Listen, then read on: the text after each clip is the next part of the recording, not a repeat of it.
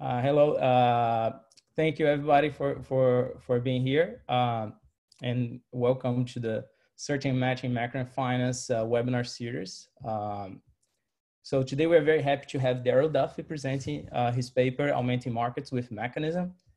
Uh, let me just go a little bit over our format. Uh, we are gonna have a 60 minutes talk followed by a 15 minutes Q&A. You can ask Q&A using the Q&A feature at any time during the talk. We, if, if it's a clarifying question, we are gonna try to bring it up for Darrell. We also have Sam Antil uh, answering questions uh, in the Q&A feature. Uh, we also are gonna have an amazing list of panelists that to join us and, and, and they will be able to to to ask questions live and hopefully uh, uh, this will make a, an interesting talk and thank you again Darrell for joining us uh, you can start uh, thanks so much Bruno and uh, thanks Zach and all the other organizers for uh, putting this together it's a great opportunity and as you said Bruno it's an amazing list of of panelists that you've pulled together it, se it seems like essentially all the leaders in the field are are here today uh, what I want to do is um, I'm going to share my screen and tell you about this work. It says you cannot share screen while the other participant is sharing. Okay, good. Uh, okay. One moment while I find the right slides.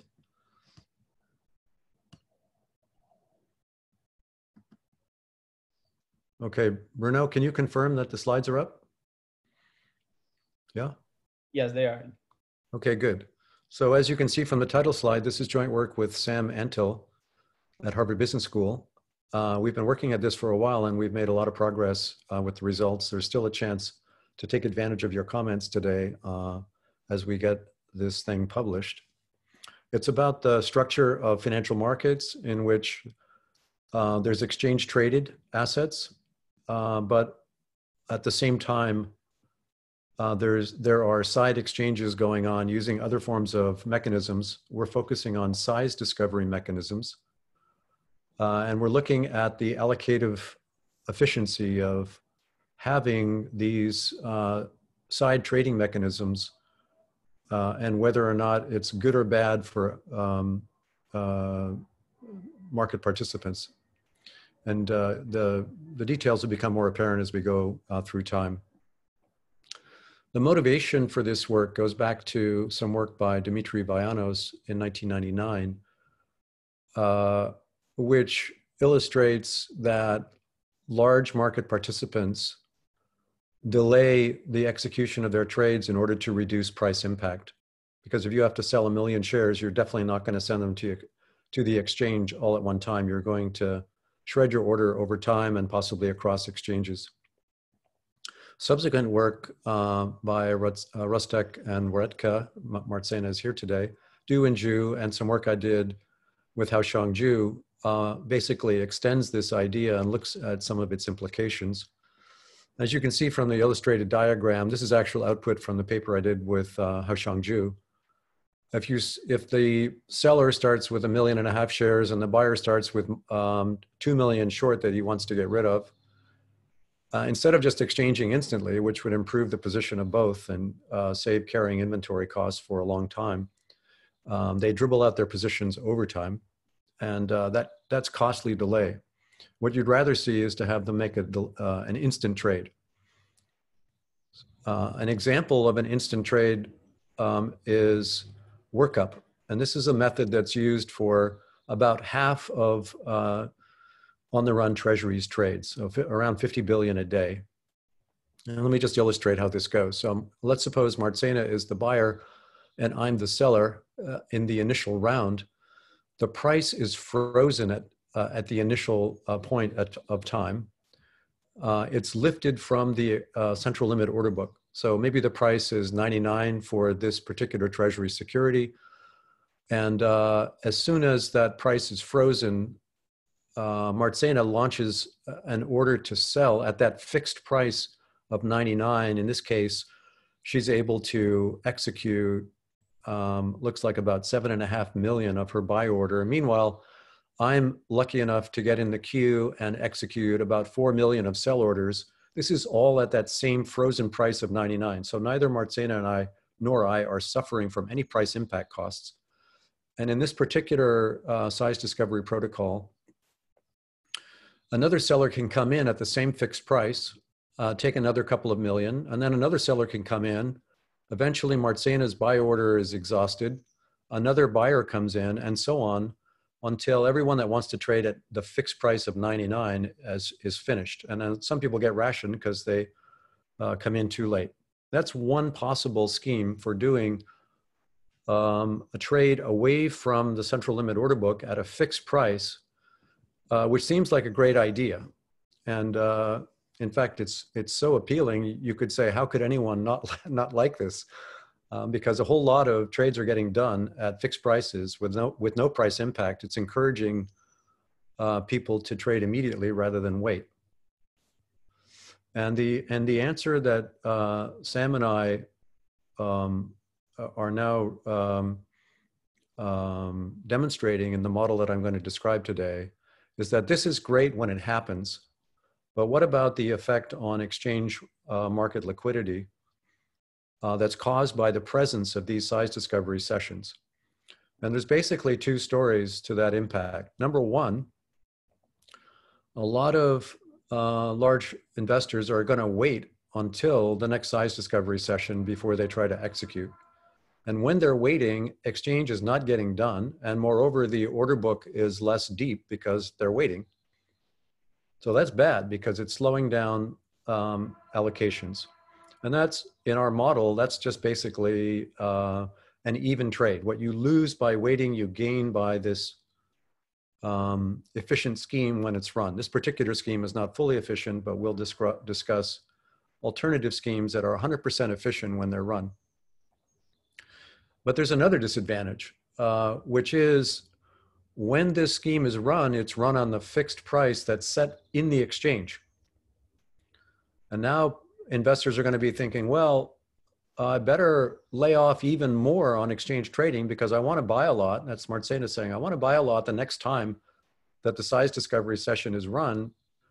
And if I try to buy in advance of the size discovery session, I'm going to push up the price and then the fixed price that I get is going to be worse. So she's going to lay off for an additional reason. And the combination of those two reasons means uh, that in a very um, uh, wide range of types of size discovery session, the net effect is negative, not just for average social welfare, but for every single uh, trader in the model. So that's the bottom line of the paper. And if you uh, decided wherever you are in the world that it's time to get lunch, dinner, or breakfast, uh, you, you got the message and you don't need to stay till the rest. I'm going to skip this slide in the interest of time and talk about size discovery in practice. So first, in the treasury market, as I mentioned, uh, size discovery is very popular. Roughly half of all of the exchange-based trade, which is only in the interdealer market, happens by size discovery using that same protocol I just described. In the swap market, again, around half of all interdealer trade volume is done by workup. And by the way, the interest rate swaps and treasuries market, there is no exchange on the outside of the interdealer market. In the credit default swap market, some work by Collin-Dufresne, Junge, and Trolle shows that about 70% of CDS index trade volume is done by size discovery methods. So this is not a minor feature uh, that you can just say, well, it's an arcane detail that somewhere in the plumbing of markets that doesn't happen very much. This is a major effect. Equity markets um, use size discovery much less, but still significantly. Uh, dark pools are the primary example, and I'll give you uh, some results based on dark pools uh, in a few minutes. But roughly 15% of trade volume is done in dark pools. There's a number of papers that analyze the effect of that. There's other forms of size discovery that are not as well known that are also done in the equities market. So broker-dealer internal crossings, and then mutual fund 17A7 exchanges. That's when the sponsor of a mutual fund family of funds trades between the different funds at the fixed price that was set on the exchange. So these are all examples of situations in which, uh, given that size discovery is available, it's advantageous for market participants to use it because they get to avoid price impact. You might think, well, given all this, uh, what I've said so far, there's scope for regulation. And indeed, in 2018, MIFID II regulations in Europe put a cap on dark pool trades of equities. Uh, 8% for ag aggregate dark pool trading in, uh, in the um, uh, EU uh, uh, area, and 4% cap for any particular trade volume. I'll come back later and discuss the implications of those trade caps. They have not been successful, however, because the, they've essentially pushed the dark trading into other venues, but not back onto the exchange. So um, practical considerations, basically, this is a very predominant practice. It's not as dominant in equities markets, but it's still significant enough that it's caused concerns and regulatory uh, action. And uh, we want to examine um, the allocative efficiency of this practice. Um, there are different views. It's pretty controversial, in fact. So if you were to ask um, the head of a multilateral trading facility at UBS, uh, uh, um, my gallery is blocking my own view here.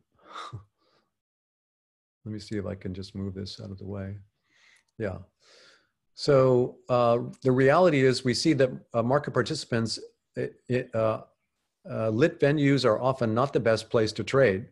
So other venues have come into the marketplace because we are still committed to getting the best outcome for our investors. So this makes sense. You're going to get entry by size discovery platforms because the mar individual market participants do want to trade on those platforms when they're available. The question is, um, if they're not available, um, is it is it good to introduce them? Our answer is, at least in our model, no. Wow. Um, there are some have been some comments on the MIFID II dark trade regulations. And uh, I think I'll just leave you to read those comments. I, I think you can read them faster uh, than I can uh, repeat them.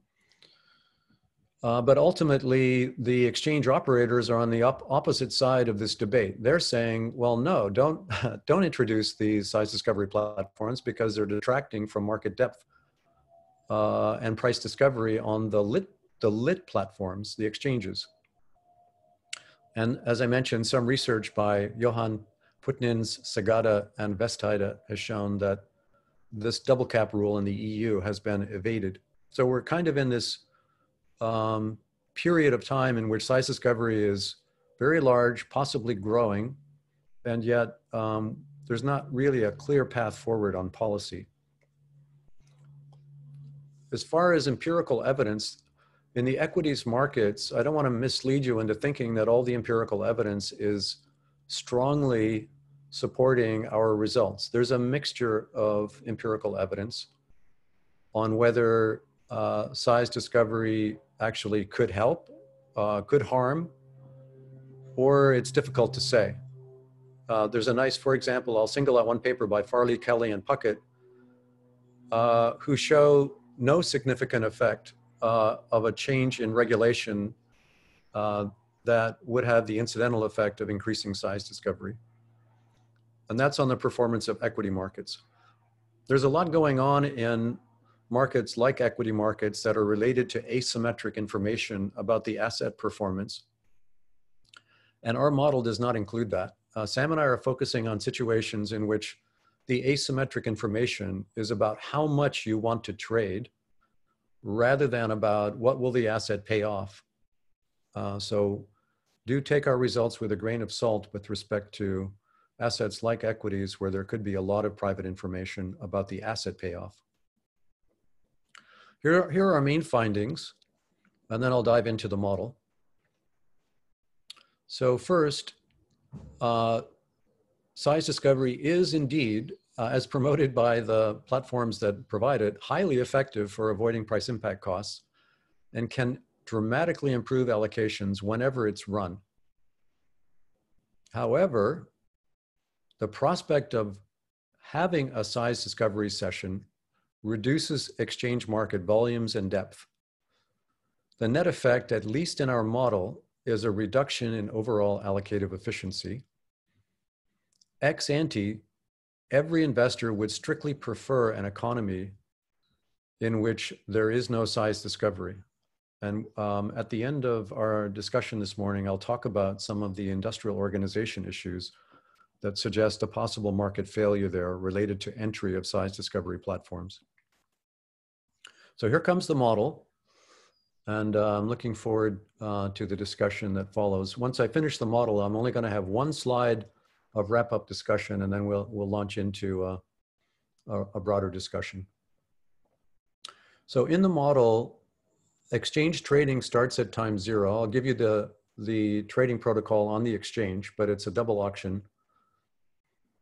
And then at random times, there are size discovery sessions um, analogous to the ones that I've seen. I'll give you four different examples of how these size discovery sessions are designed, but they're all, they all have the property that they're extremely efficient. They immediately return the allocation to the efficient allocation. Then exchange trading starts again. Uh, in the meantime, there are random disturbances in the positions of the individual investors that motivate trade. So you can think of these investors as, for example, dealers that are handling large customer orders that, that bump their inventories out of line and they want to trade again. Then there's another randomly sized, uh, randomly timed size discovery session and so on. And then eventually the asset pays off. Darrell, I have a, a question about uh, size discovery in, in practice. Uh, are those sessions occurring at fixed time or at chosen time by investors in practice? At this time?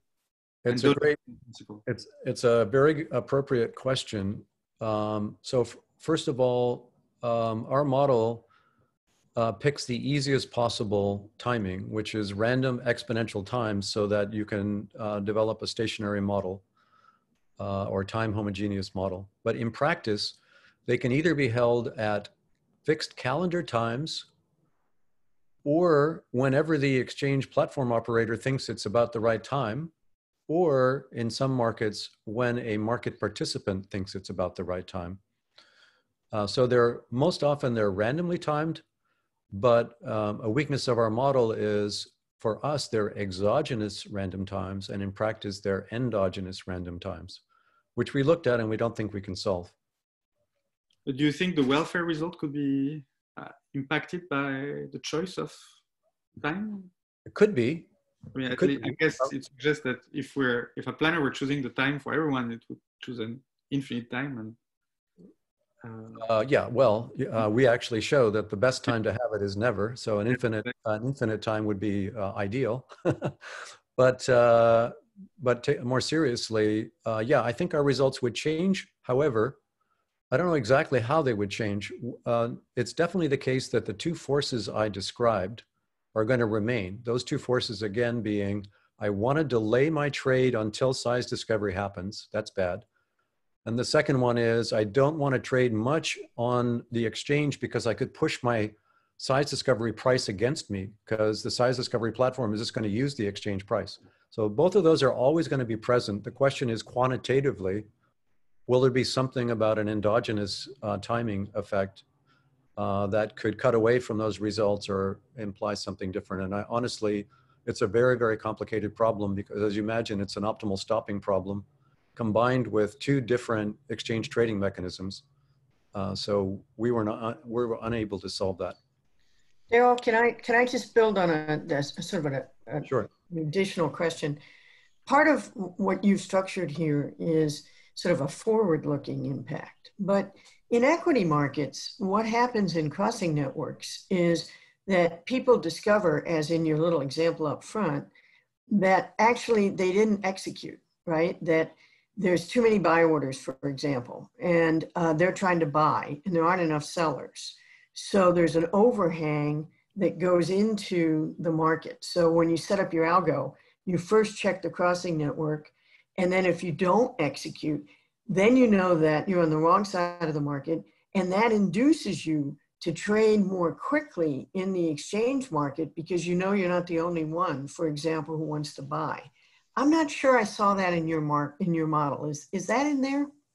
It's in there, um, but it's in there in one case in a degenerate way, and in another case, it's it's genuinely there. So the main results are based on a size discovery session that is so amazing that there is no overhang. That is, you still want to trade more, but you've reached the efficient allocation, and you it's common knowledge that um, that um, the allocation is already efficient. So there's not going to be any extra opportunities after the market reopens for anyone to lay off excess inventories that they couldn't have laid off anyway and um, you know that they can't lay off anyway because it's an efficient uh, situation this but however uh, sam and i did look at um, a setting in which we artificially impaired the size discovery mechanism so that we had exactly what you described unmet excess demand that could have been executed in an, uh, a more efficient market, leaving the investors uh, with the desire to continue trading afterwards in the exchange market. And the results are essentially the same. I'm not going to go into details, but it doesn't Darrell, seem to kill the effect. Darrell, can I ask a completely orthogonal question, which is, sure, uh, so this is a private values uh, setting.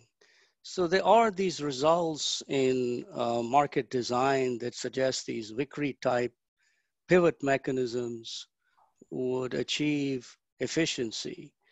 Would your, uh, is it possible that your setting is related in some way to these kind of more abstract results? Because you have kind of more institutional setting in some sense.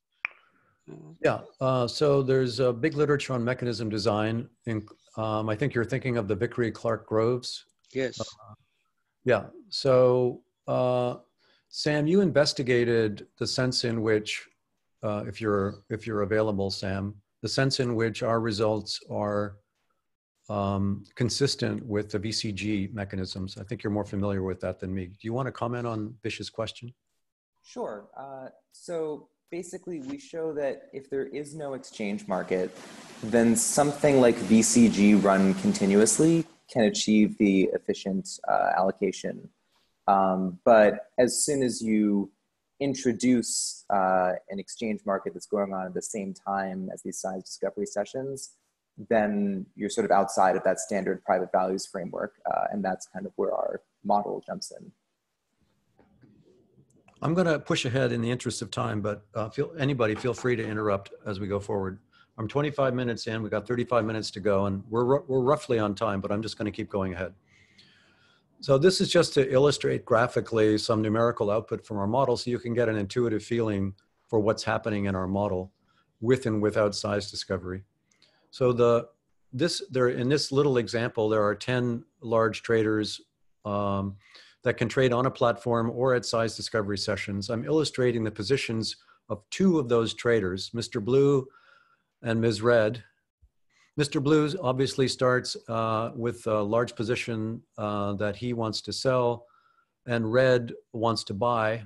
And shortly after time zero, a size discovery session allows them to achieve an efficient exchange they end up on the thin black line in the middle of the diagram, which is the efficient market allocation.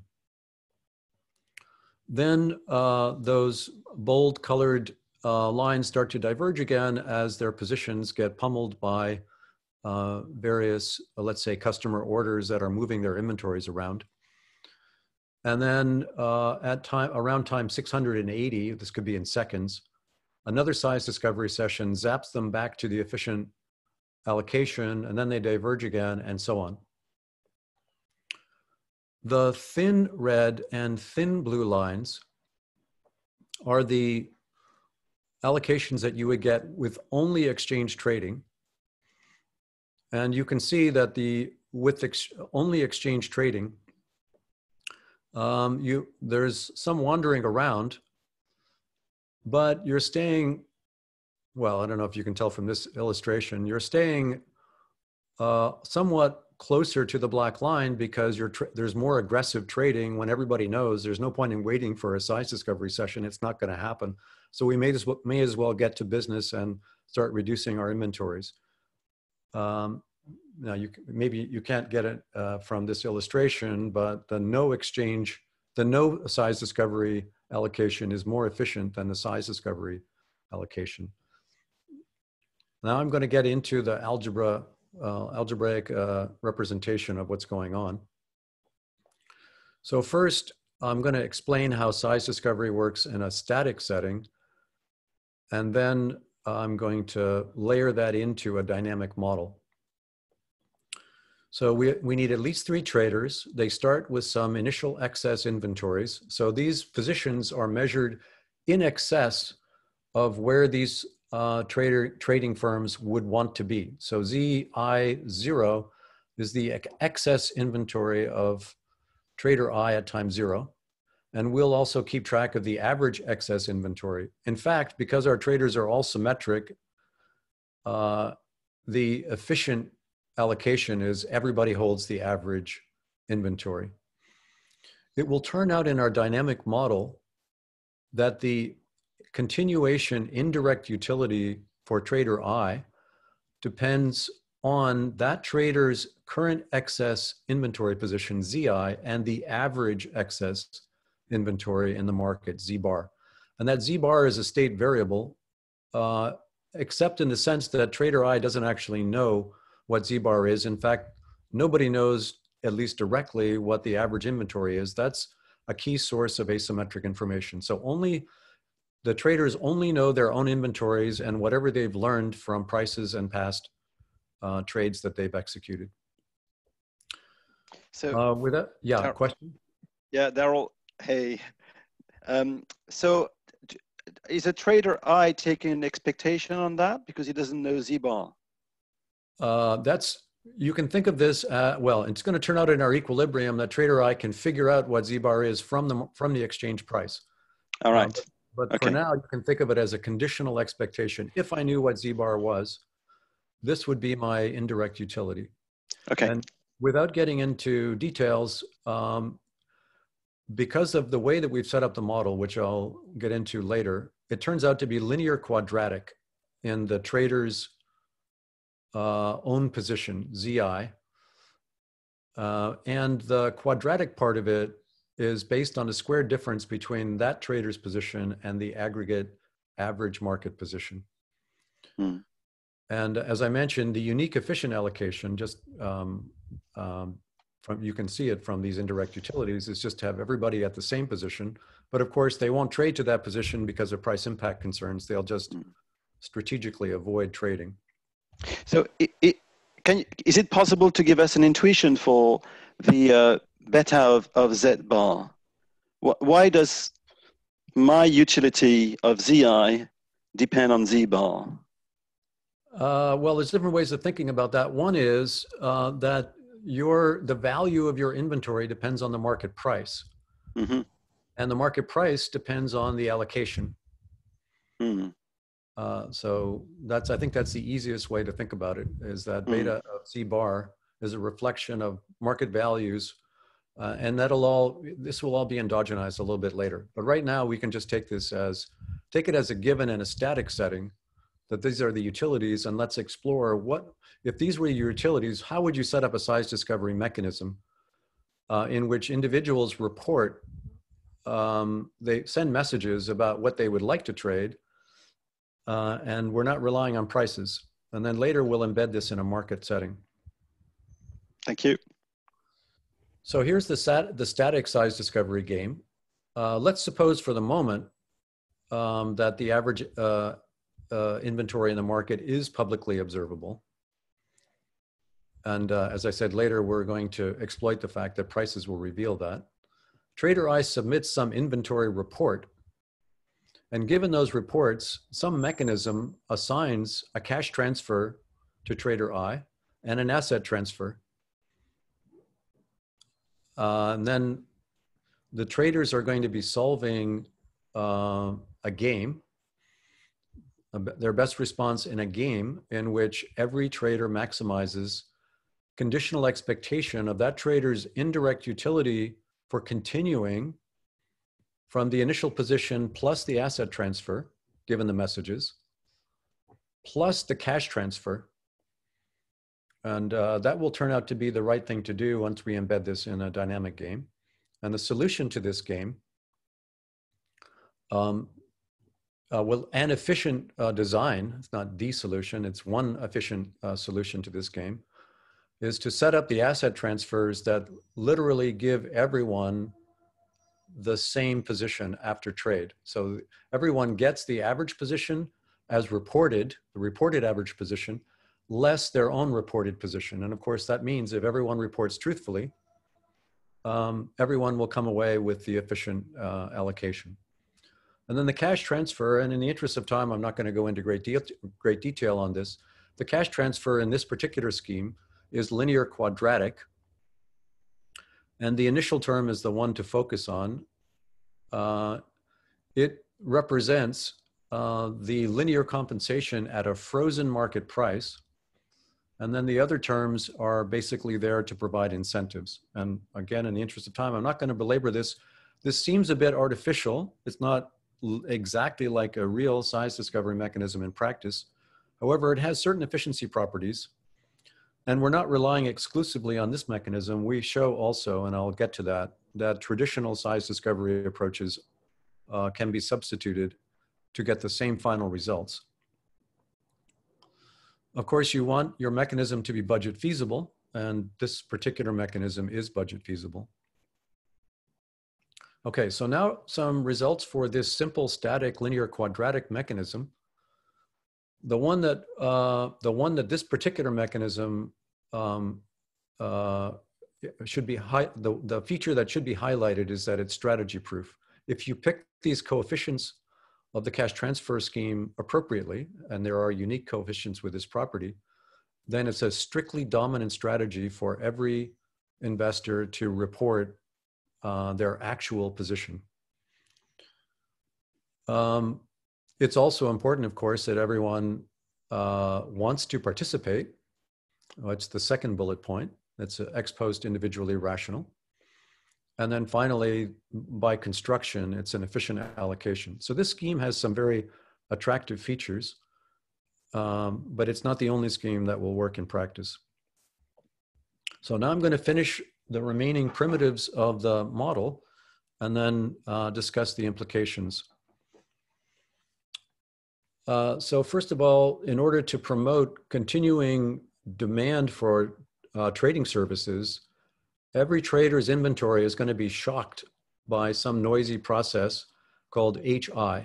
And all we need is that HI is an IID increments process, meaning a Levy process uh, with zero mean. It's a martingale. At some random future time, the asset will pay off some independently distributed amount with some mean V. An alternative is that um, the exponential parameter R is, um, is used simply as a time discounting. You, you trade until infinity at a, and there's time discounting at the rate R. Here's the probably the weakest assumption of the model, uh, well, the strongest assumption, meaning making the model uh, least appealing, um, but making it also tractable. And that's the Almgren Chriss holding cost model. So our investors don't have traditional risk preferences. These, you should think of these as broker dealer firms that have uh, balance sheet costs for holding excess inventory, which are quadratic in the excess inventory, um, as illustrated. Now, the spirit of the conclusions, uh, the direction, the, the directional results, as I mentioned earlier, follow basically from uh, this this cost function being convex and symmetric, but the literal the the actual uh, explicit results depend heavily on the quadratic form of this excess inventory process. So if you were to attack um, this model as being overly restrictive, this would be a good uh, place to attack. Uh, the bottom line is if there were no trade, then every investor would have the uh, initial utility, which is the expected final payoff of the position of that investor minus an inventory cost, where the position at any time with no trade is just the initial position plus these inventory shocks. And now what I'm going to do is I'm going to layer in trading in two forms. First, exchange trading, and then size discovery trading sessions. Is there a That- question? that- yes, please S- stop me if, if I'm too if I'm boring you too much. All, um, no. So I guess the the the, the closest possible um, kosher utility function would be to say that the, the, the agents consume at time tau and maybe they have something like a quadratic utility from consumption at time tau and so this would i guess gives almost the same equation except that the square instead of being inside the integral would be the whole integral would be squared right That's right. Uh, and that's why it's, and it's difficult to turn this into a traditional preference model. There have been attempts, including by B and, and other co-authors, uh, to put a structural micro foundation under this model, and so far not successfully. There is a paper by Pierre Collin-Dufresne and a co-author that gets, uh, get, that gets something like this in a different uh, context using recursive utility of a certain form. Um, but I don't want to misdirect anyone that this is a natural risk preference model for a risk averse investor. It is a reasonable model for a corporation that has excess inventory holding costs. I see someone is now uh, using a leaf blower outside my window. I'm going to go close the window. Hang on.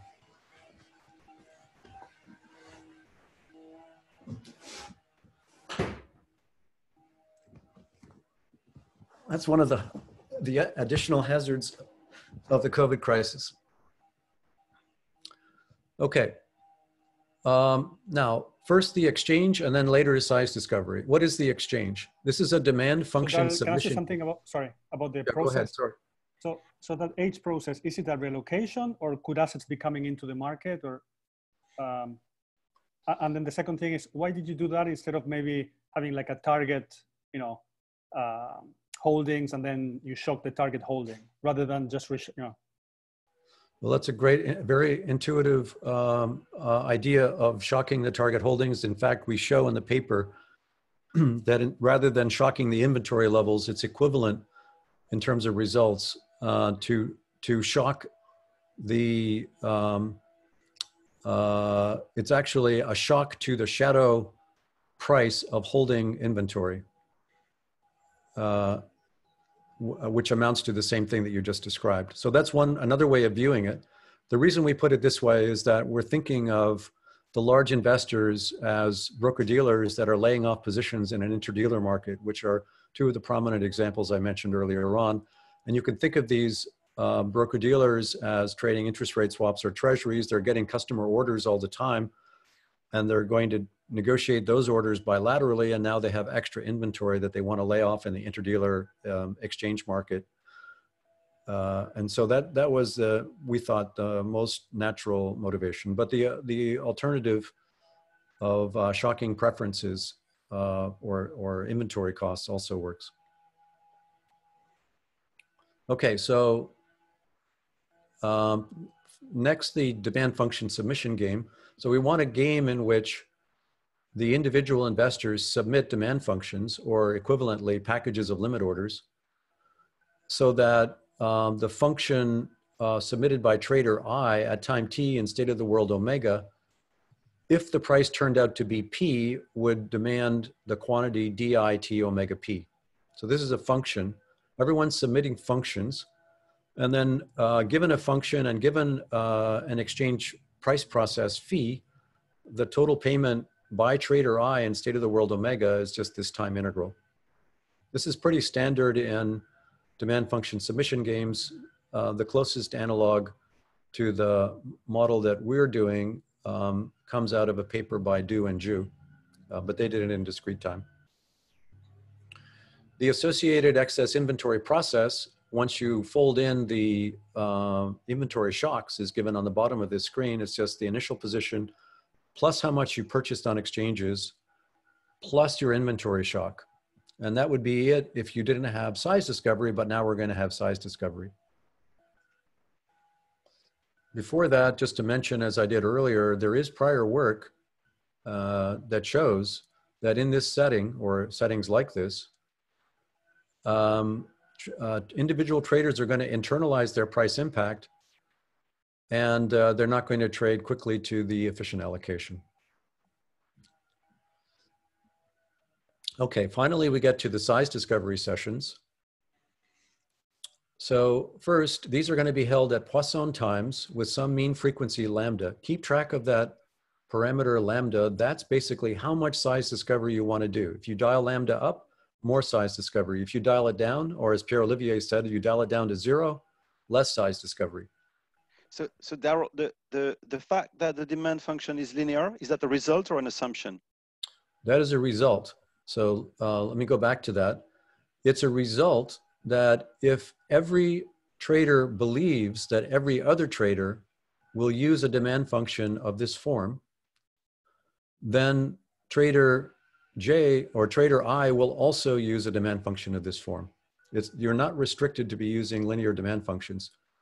That said, we're only looking at equilibria in which um, there are linear demand functions. We're not looking for nonlinear equilibria. There may be some.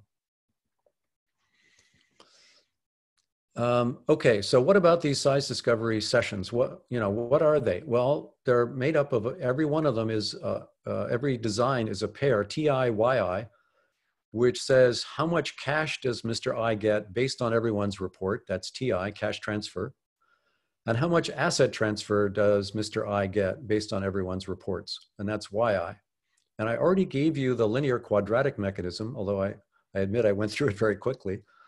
But there are several other mechanisms that have the same properties that I'm about to provide you other than uh, the um, uh, dominant strategy uh, truth-telling property that, that I mentioned earlier.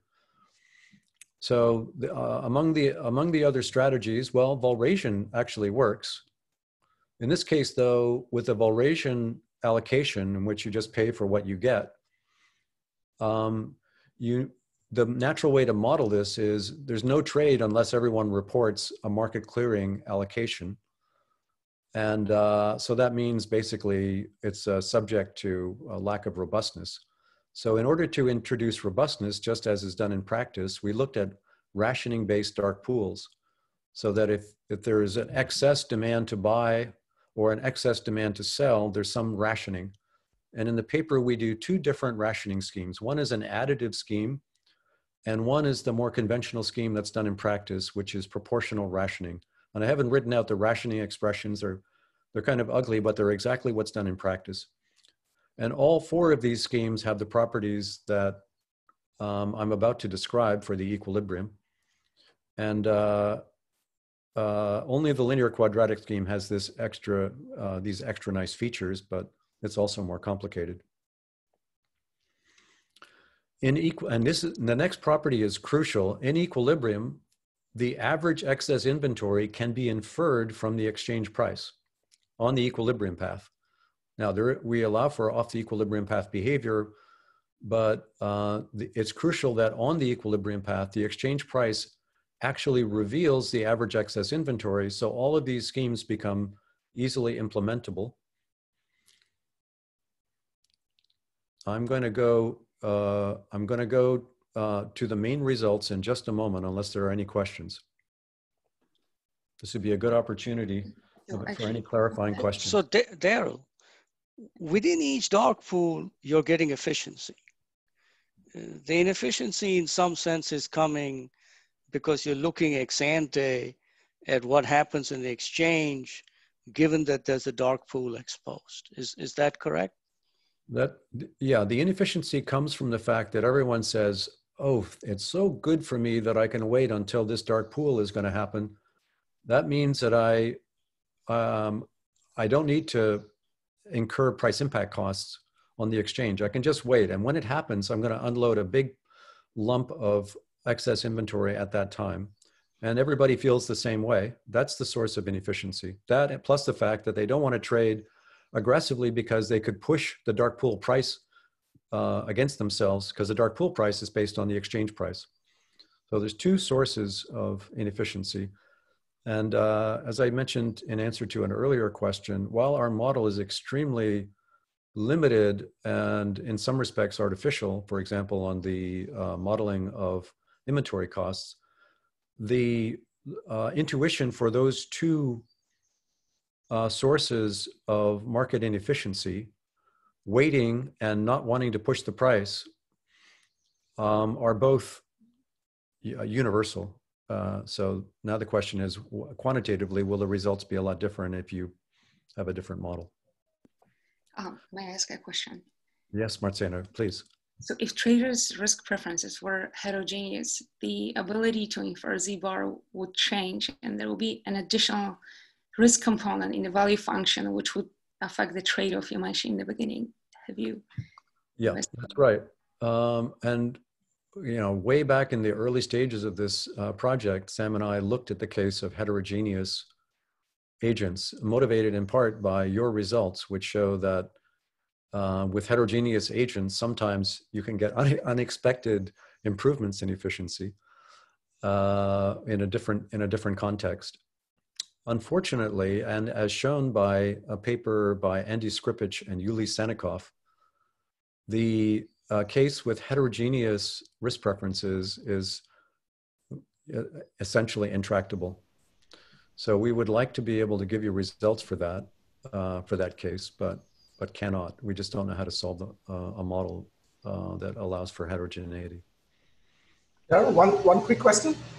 So um, I, am kind of uh, you know I'm searching for like a maybe a more uh, another efficiency benchmark. So this is like a dynamic mechanism design problem, right? You could have, you know, a planner who gets reports from agents continuously and keeps announcing allocations and doing that. What you're doing here is, you know, in these uh, discovery sessions, there is a structure that's imposed that comes from the linear demand uh, uh schedule assumption. Um, is the other problem just completely like you know off the table in terms of uh, tractability? Venki, I'm glad you asked that. Uh, I'm, I'm remiss in not having raised the, the larger perspective on what we're doing in this paper. One could just basically scrape the entire uh, current financial market structure and say, starting from scratch, yeah. let's not necessarily have exchanges or necessarily have uh, size discovery sessions that happen at some points in time, like we do in practice. We could start from scratch and uh, develop some cross-time, um, uh, let's say, mechanism design that uses what you've traded in the past, what market, if there is market prices at all, uh, what market prices have done in the past, and compensate you for being an aggressive trader the next time we we do something, and maybe we could do much better uh, than anything that um, is on the table today, including the introduction of size discovery. Um, and I think that's a really good project. Sam and I have not uh, done that. We've um, maybe been conservative in the sense that we're not taking a normative approach to market design. We're looking at the current market design and taking it as a given that we're not going to scrape the exchange markets. They're probably going to be there. And, and uh, placing some focus on the current approach of doing size discovery, which the essence of which is every once in a while, look at what the exchange price that you got from the exchange is, freeze that price, and let traders make some reports and make allocations to them based on their reports. They all work the same way. And what we want to know is, is adding that feature of occasional size discovery sessions a good idea for allocative efficiency or not. That's much less ambitious than the project that you outlined, which would be start from scratch. Maybe you can do something way better. One example might be, uh, you know, if uh, if Venki trades a lot over the last month, we'll give him some credits, some points, and he can use those uh, to to some benefit. And the next time we do size discovery, uh, and uh, that that could be potentially superior. That so said, maybe a more. I mean, yeah. I agree. I, I, mean, my scope wasn't that um, wasn't that ambitious either.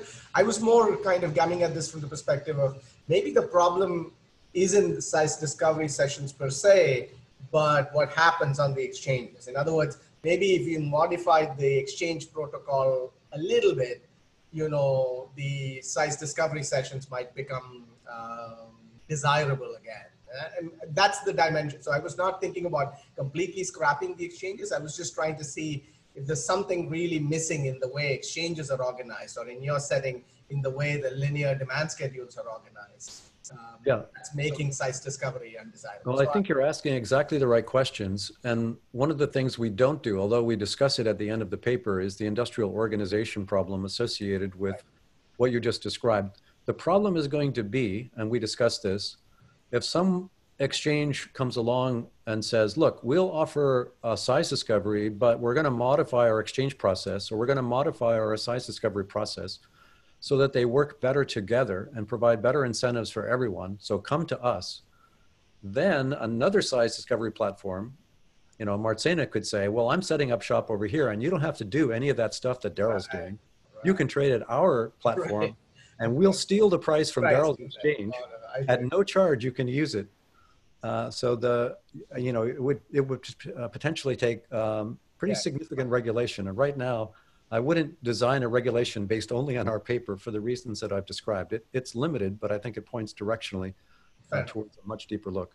Thank you so okay, much. I'm going to move. I'm going to move along pretty quickly because now I'm approaching the point at which, if I don't move along rapidly through to the end, I'm going to run out of time for sure. So let's just put everything together now and talk about uh, the main results. So the main in the, the main model combining everything is Trader I's position at time t is the initial position plus how much exchange trading uh, Trader I has done, plus the additional amount that Trader I got was allocated in size discovery sessions, which happen every time that Poisson process N clicks up by one, plus the inventory shocks uh, for Trader I. And then Trader I faces this stochastic control problem, which is literally how we formulate it in the paper, maximize over demand functions and uh, reports into size discovery, the total expected utility, which is final asset payoff, less how much you paid for exchange purchases, plus how much cash you got transferred in size discovery, minus your inventory holding costs. We set up the conjectured uh, solution to this problem, which is the indirect utility I mentioned earlier. We verify the um, HJ, the, the solution for the HJB equation is indeed the value function, and then we just look at the properties of the equilibrium that results. Uh, uh, of course, in equilibrium is market clearing. Everyone's consistently conjecturing what everybody else is doing. Everybody is individually optimizing, including uh, incentive compatibility and uh, uh, individual rationality. A main result, finally. So if your frequency of size discovery sessions is bigger than some constant lambda bar that we analyze in the paper, exchange trading just breaks down. Everyone says, wow, uh, we're having size discovery so often that I am going to flatten my demand in the exchange market to the point where the market can, cannot even clear. So forget about it. Can't there's an upper bound on size discovery because of this effect of everyone defecting away from exchange trading. Now, if you pick a size discovery frequency lambda below this upper bound, there are actually two linear equilibria of the type that I described. And I'm only going to characterize the less, pardon me, the more efficient of the two, because that's when I'm when I'm when we are saying that size discovery is not efficient, uh, the, we want to compare to the most efficient version of it, which is the equilibrium uh, with better welfare and size discovery. In that more efficient equilibrium, every single trader's value is strictly decreasing in the frequency of size discovery. So uh, put it another way, ex ante, every trader given the opportunity to vote against size discovery would say, I vote against size discovery, none of it, please.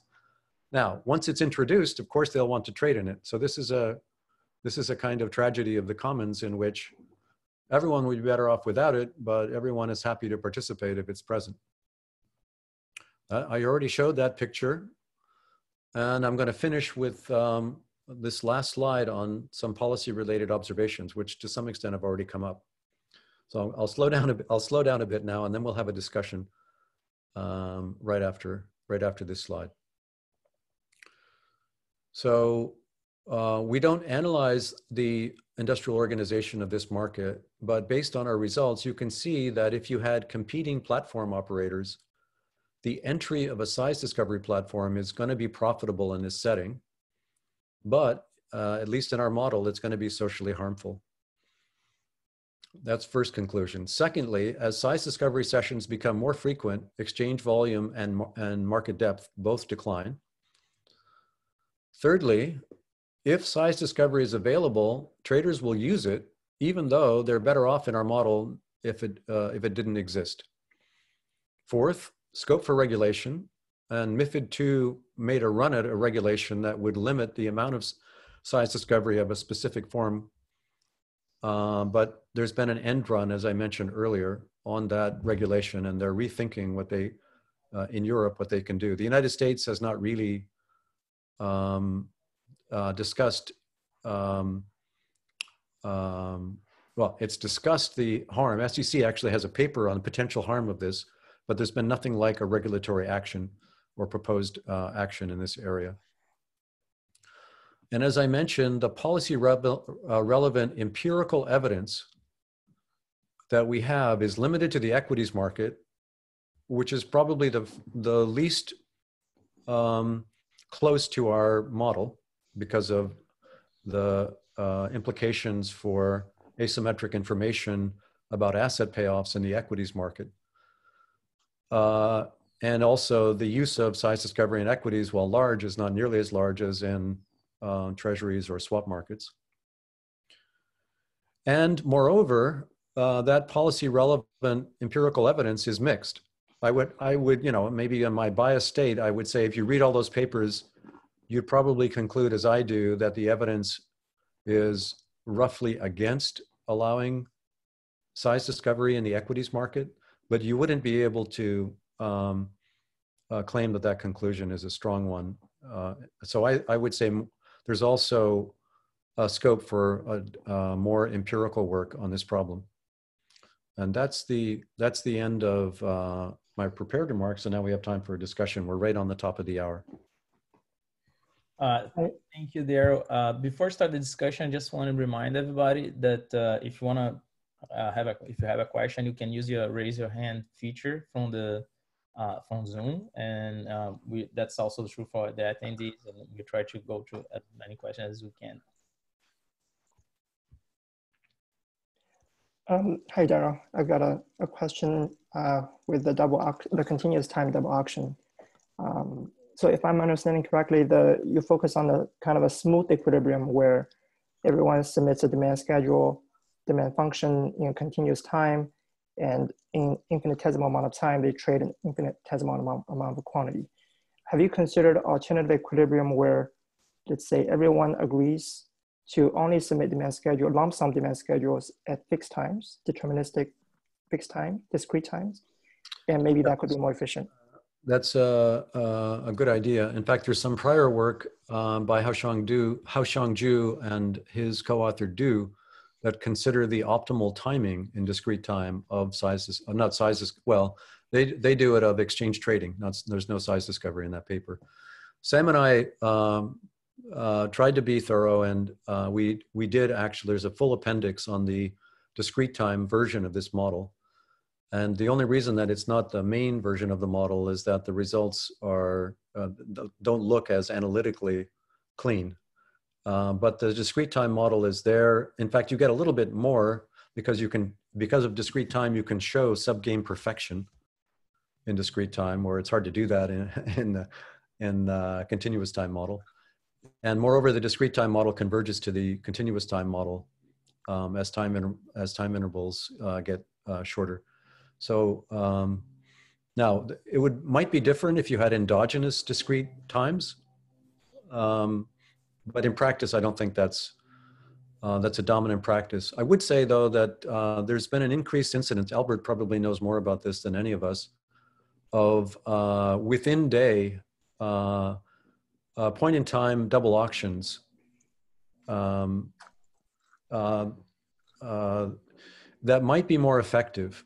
So it's it's kind of so let, let me remind everybody what this means. That in some exchanges there's an opening auction, on some exchanges there's a closing auction. I would say there's a slight tendency over time for more exchanges to introduce auctions in the middle of the day, maybe two or three. And remember, an auction uh, is not like a size discovery session. You're not relying on a fixed price that you're lifting from the exchange. So there could be a potential improvement um, from introducing intraday uh, double auctions. And there is some work uh, in a different context by Budish, Cramton, and Shim that shows that we're, we're probably running exchanges too, too frequently and that if you had occasional batch auctions, you could do better. That's not related to our work because we're not doing any sniping or anything like that. But I would say that uh, more work on the timing of auctions, consistent with your question, would be a good idea. I see Bruno has his hand up. Yes, I, I, I agree with what you said. It, and also, in, in a sense, that was already shown in the paper by Dimitri. The paper by Dimitri, the one you quoted, the one from 1999, shows that you don't want to trade too often.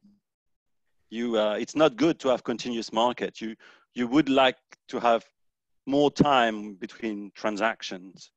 So in a sense that, that predates Budish by a long, long time. uh, I was also, uh, okay, sorry, I'm, I, shut up. No, just a Vicious has his hands up. Uh, yeah, I guess, uh, Darrell, one question is, uh, I don't know of any practical instances where operators of price discovery have to pay the exchange because they use the exchange price. But do you think there'd be any welfare improvement if we forced price discovery uh, operators to make payments to the exchange for using the price? Would that be like a first order improvement? It's an interesting idea.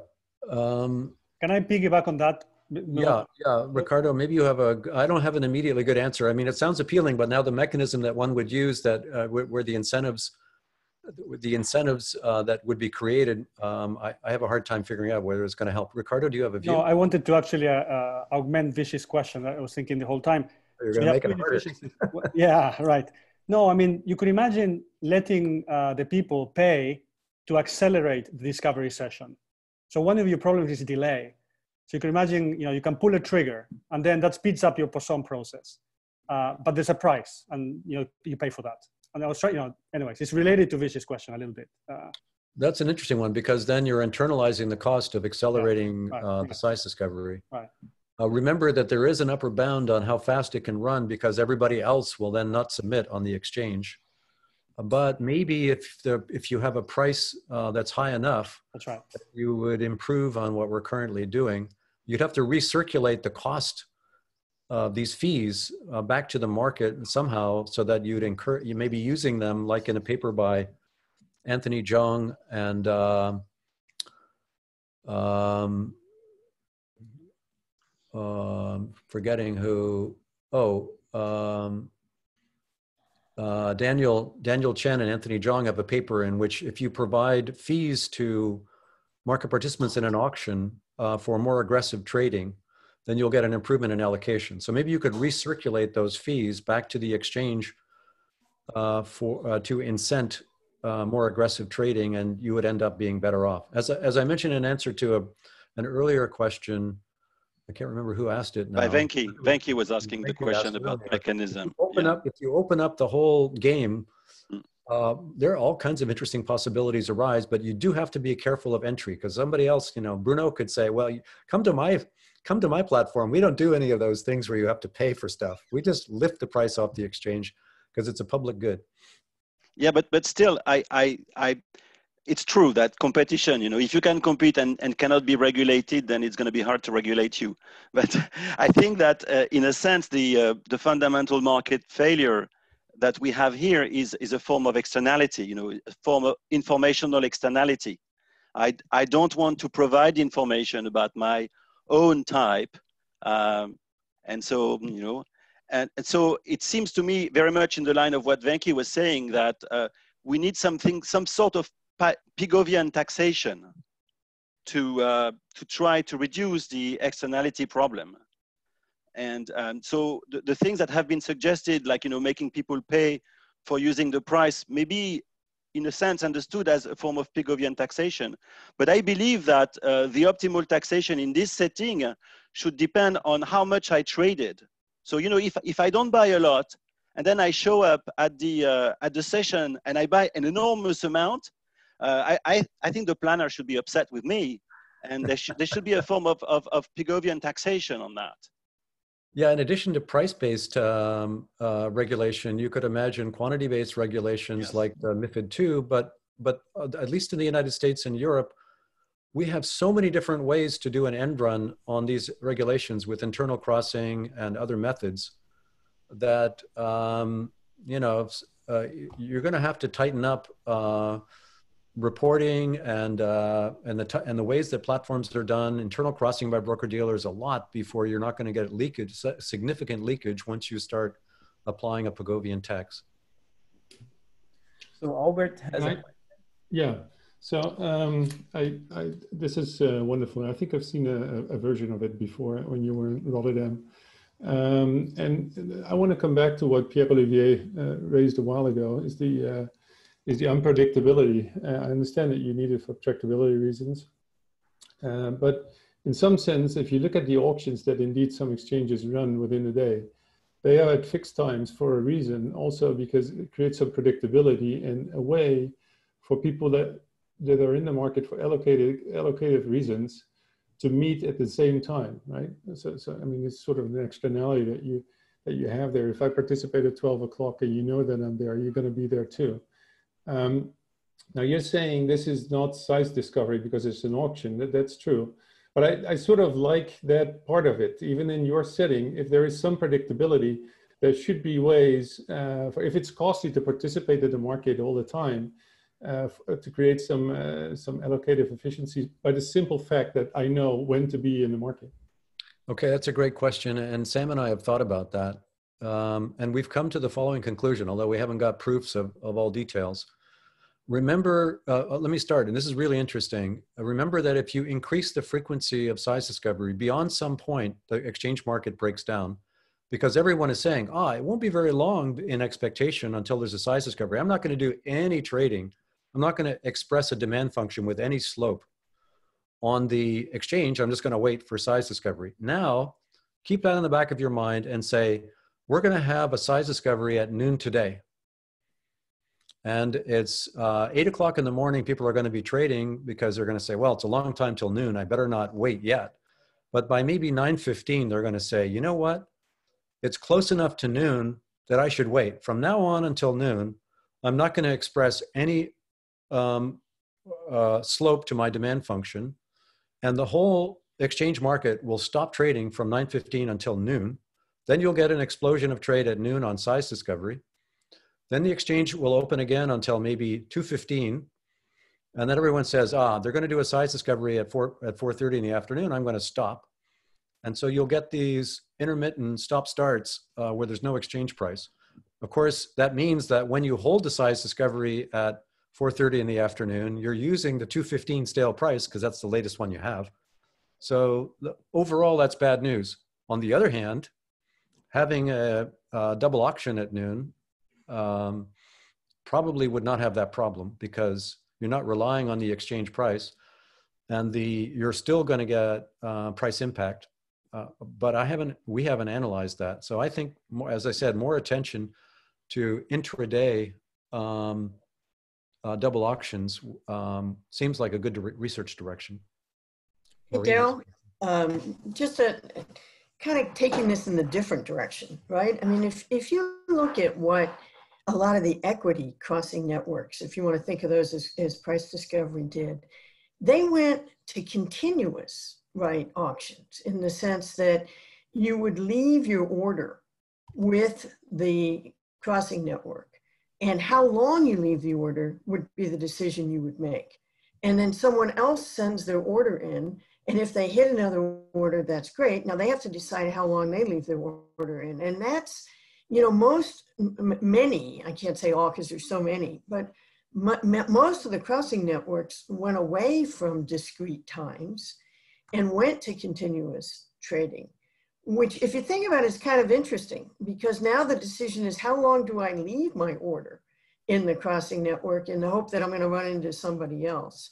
And going back to Albert's point, I think Albert's point's a great one, except that the reality in a lot of market settings is the manipulation right? If, if I know there's going to be a crossing network at 12, then I screw the price up at 1159 point whatever. And so again, most of the crossing networks that, that, that I was familiar with, they use random times exactly for that reason.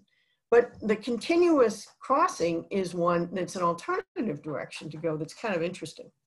I think it would be fantastic to uh, uh, to think about that. So if I understand you, Maureen, the exchange is running all the time. And in the background, individual traders can say, well, I might incur some price impact. I'm going to set aside some of my order into the crossing network. And then if somebody else comes along um, up until two in the afternoon, I'll be willing to exchange at the most recent market price. Is that how it works? Kind of. I mean, what you generally see, I mean, in at least in equities, uh, most people start their day dumping orders into the crossing network right? Because if they can cross first thing in the morning, that's what they want to do. And then, uh, you know, because most traders have to trade by a certain time horizon, right? And, and so for some traders, it's an hour, for some traders, it's a day.